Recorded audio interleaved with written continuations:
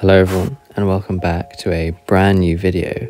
So today we've got this impossible looking integral to deal with. It's got not only a quartic in the denominator but it's got these arctans uh, next to them as well, sort of muddled in there. Um, I first came uh, I first became aware of this integral when my friend sent it to me whilst I was uh, getting ready for the gym and I decided to go ahead and solve it and it took me 30 minutes which meant I was 30 minutes late to the gym. Uh, so that was a bad idea, but that's what happens when you have uh, a an obsession with with maths, and I wouldn't recommend it to anyone. Um, but anyway, so uh, yeah, so well, what can we notice about this integral first of all? Uh, the first thing I noticed is that the arctan of x functions are next to um, even powers of x, and so I had to think, well, if we were to factor out a x squared arctan from this, then what would we be left with? And well, that was my that was my motivation. So the first thing we're going to do is we're going to factor out an x squared arctan of x from this function or this, this, this part and this part here. So in doing that, we get the integral from 1 to infinity of, uh, and then in the, in the denominator, so factoring those out, so bringing out an x squared arctan of x, um, we get 1 plus, and then factoring out of this, we get x squared, like that. And, well, what we left with? Well, we left with the x and the x cubed, so plus x plus x cubed dx, with, of course, the 1 up top. Okay, well, what can we notice here? Well, we can notice that we can do a similar thing and factor out an x from the x in the x cubed. Now, factoring out the x, we get x, 1 plus x squared dx. And as we can see, we've got a common 1 plus x squared uh, in the denominator here. So let's factor that out. Okay, well, what do we do here? Well, we can factor out an x from the x squared arctan x and the x here. So let's do that. Okay, well, where do we go from here? Well, the thing that I noticed, um, and I think um, with enough practice of integration differentiation, you should be able to notice it as well, is that we've got this 1 plus x squared here, and we've got this arctan of x, and we've got them sort of, we've got them in the same problem, right? And, well, how are they related to each other? How is 1 plus x squared and arctan of x related to each other? Well, we know that the derivative of arctan of x, so I'm going to write tan to the minus 1 just for simplicity, the derivative of arctan of x, or the inverse tangent, is 1 over 1 plus x squared. So if that 1 plus 1, uh, 1 plus x squared could be brought up to the top, it could be cancelled with that 1 on the bottom. So that was the motivation behind doing this next uh, step, and that's doing a substitution. And we're going to say, let t equal arctan of x. So we are now doing a substitution. So that implies that dt is equal to 1 over 1 plus x squared dx. Um, that x squared looks ridiculous. x squared, there we go. Um, which also implies that dx is 1 plus x squared dt, like so. Um, if t is arctan of x, then that implies that x equals tan of t. And uh, let's talk about the limits now. So the limits, so when um, when x is, is 1, well, what is t going to be? Well, it's going to be arctan of 1. What is arctan of 1? Well, it's pi over 4. And well, what about the second limit? So when x is infinity, we've got t equals arctan of infinity. And as x approaches infinity, arctan of x is, uh, or approaches pi over 2. Okay, so we've got everything we need here to implement the substitution. So we're now going to have the integral from pi over 4 to pi over 2 of 1 over now we've got this x times 1 plus x squared. So I'm going to change the x to tan of t. But I'm going to leave that 1 plus x squared there, and you'll see why. And then we've got x arc tan of x. Well, the x turns into tan of t. And, well, what does the arc tan of x turn into? Well, that turns into t. and then we've got plus 1. Uh, and then we are timesing by dx. And what did we say dx was? Well, it was 1 plus x squared dt. So we've got 1 plus x squared dt like this. And as you can see, the 1 plus x squared up top and the 1 plus x squared down there cancel each other out. Okay, so we are left with this integral right here to solve. And to be honest, it's, it's not much easier. We have definitely simplified it down a lot, but the actual integral itself is quite difficult. Um, and so we're going to have to manipulate it a little bit. And what we're going to do is we're going to notice that we've got this 1 over tan of t right here. Well, what is 1 over tan? 1 over tan is, of course, cot. Those sort of weird trig functions that you get introduced to that you never really use. I don't know. Do people use them? Anyway, um, so yeah, we've got this 1 over tan of t, um, which is cot. Um, so let's implement that. So we're going to have the integral from pi over 4 to pi over 2 of cot t over, and then we've got t times tan of t plus 1 dt. And, well, we're actually going to do the same thing to the tan of t down in the denominator there t over cot of t plus 1, like this. Okay, well, let's tidy this up a bit. Let's times the top and the bottom by cot of t. Let's do that. And this has made our lives a lot easier because we can now do integration by parts. So let's set u equal to um, uh, 1 over t plus cot of t. And let's set v dash, or the derivative of v, as cot squared of t. Because we pick u and v depending on which one we can integrate. We can integrate um, cot squared of t fairly easily. We can't integrate fairly easily 1 over t plus cot of t. And so that's going to be the one we differentiate, and the cot squared is going to be the one that we integrate. Um, so differentiating uh, uh, u here, we can use the chain rule.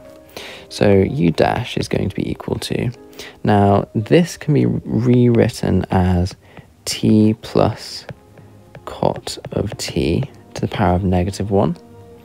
And so bringing that negative 1 to the front, we get minus 1, timesing by the derivative of inside of the of the bracket. So times the derivative of t plus cot of t. Well that gives you 1 minus cosec squared of t times by the original bracket t plus cot of t. But this time with a minus 2 there. So the derivative of u u dash is going to be negative 1 minus cosec squared of t over t plus cot of t squared, like this. Okay, let's deal with this uh, v dash over here. So we need to integrate cot squared of t. Now integrating cot squared of t, um, it is fairly difficult. Um, I mean, it's, it's, it's not too bad. Um, just have it go, basically. You just use trig identities. Um, and what you get is that the uh, integral is v equals negative cot of t minus t, like this. And then factoring out the minus sign, you get v equals negative t plus cot of t, like so. Okay, now applying integration by parts. So integration by parts is uv minus the integral of v u dash or v du dx. My Apple Pencil battery is low. Oh dear. Uh, I've got to be quick. so we get that uh, uv, so u times v, well what is u times v? Well, u times v, so this times this, well, that's just going to give us negative 1. So we've got negative 1. and then we're going to get minus the integral of v du dx. Uh, so v du dx, well, there's v, where's du dx? That's, that's there. And so in doing this, the negatives cancel out, and the t plus cot of t cancel out, and so we get uh, 1 minus cosec squared of t over t plus cot of t dt. Okay, and well, where do we go from here? Well, how can we how can we solve this integral down below? Well, what we're going to do is, in fact, a, another substitution. And what then the substitution we're going to do, I'm going to use u this time. Uh, so here we go. Uh, and also I should put my limits in. This will just get you negative 1. And then, yeah, as I said, we've got this integral to deal with. We're going to be using a, another substitution. And the substitution we're going to be using this time is going to be the uh, u, I'm going to, I'm going to say u this time, is going to be equal to t plus cot of t, so just the denominator here. The reason being is because if you think ahead a little bit, what's the derivative going to be? Well, the derivative is going to be, well, what's the derivative of t? Well, just 1. And what's the derivative of cot? Well, negative cosec squared, like that. So that's our incentive, basically. Um, dt, of course. Um, because when we rearrange for dt, we get dt is equal to du over 1 minus cosec squared t, which is going to cancel with that numerator up there. Um, okay, let's think about the limits for a second. So when t is pi over 4, what is u going to be? So we're going to get pi over 4 plus cot of pi over 4. Now, cot of pi over 4 is just 1. And so we're going to get, um, so when uh, t equals pi over 4, we're going to get u equals pi over 4 plus 1. And when t is equal to pi over 2, what is u going to be equal to? Well, we're going to get pi over 2. Um, but then we're adding cot of pi over 2. Now, cot of pi over 2 is just going to be 0 because cot is 1 over tan and tan of pi over 2 is um, technically, you know, in infinity. As t approaches pi over 2, tan of t approaches infinity. So 1 over that is going to give us 0. And so we get, we, we get t plus 0. Uh, so in other words, we're just getting pi over 2 as our u. We've got the negative at the front, and we have got the integral now from pi over 4 plus 1 to pi over 2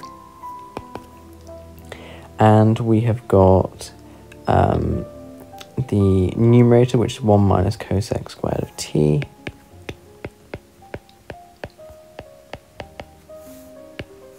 the denominator which is t plus cot of t but we've said that that's u now and then, well, what was dt? Uh, well, dt was du over 1 minus cosec squared of t. So we're going to times it by du over 1 minus cosec squared of t. And I hope you can see how these two are going to cancel now. And so what we are left with is the uh, negative integral from pi over 4 plus 1 to pi over 2 of 1 over u du. Now this is a standard integral, of course, um, and that gives us ln of u. So we're going to get negative, and then we're going to get ln of u evaluated from uh, pi over 4 plus 1 to pi over 2. So in doing this, we get negative, and we're going to get ln of pi over 2 minus ln of pi over 4 plus 1. And so that means we've got negative, and then using laws of logs, we've got ln pi over 2 over pi over 4 plus 1. And um, just to simplify it a little bit, we're going to times everything in that fraction by 4. So that gives you negative ln 2 pi over pi plus 4. And then that negative sign, all that does is it comes inside up here and raise and it, it gets raised to the power and then flips the fraction. So our answer is ln of pi plus 4 over 2 pi and that is your solution to this extremely awful looking awful looking um, integral. A very intimidating integral I must say. However we solved it very nicely